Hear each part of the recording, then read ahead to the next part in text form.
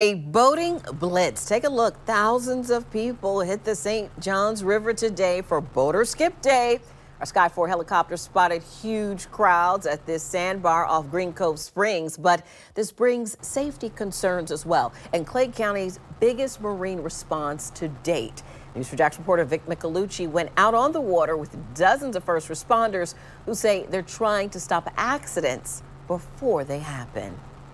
Right now, we're with the Clay County Sheriff's Office Marine Unit. We've also got members of the U.S. Coast Guard here, but all in all, there's about a dozen agencies working to make sure that everyone is safe. They're not just on the water, they're on land and in the sky. Take a look at this. Hundreds of boats packing the Bayard Point sandbar in Green Cove Springs. Sky 4 showing the party from above.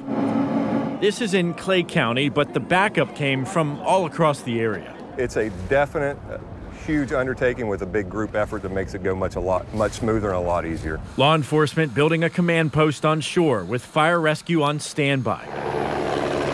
And a Homeland Security chopper up above.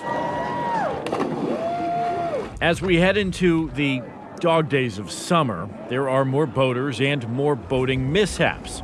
Problems the Marine unit is trying to prevent. Basically, what I'm doing is just make sure everybody's being safe, uh, we're trying to keep the BUIs down, trying to keep the accidents down, uh, trying to keep the crowd controlled to, you know, make sure everybody's having fun, but just being safe is what our major goal is. Alcohol abuse, one of the biggest issues they deal with. A lot of people get to drinking too much.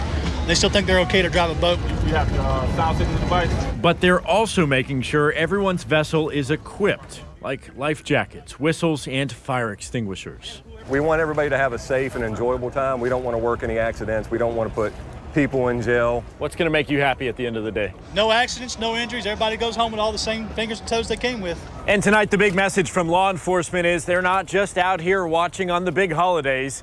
They're keeping an eye out 24 7 to make sure everyone makes it back to shore safely. In Clay County, I'm Vic Micolucci, Channel 4, the local station.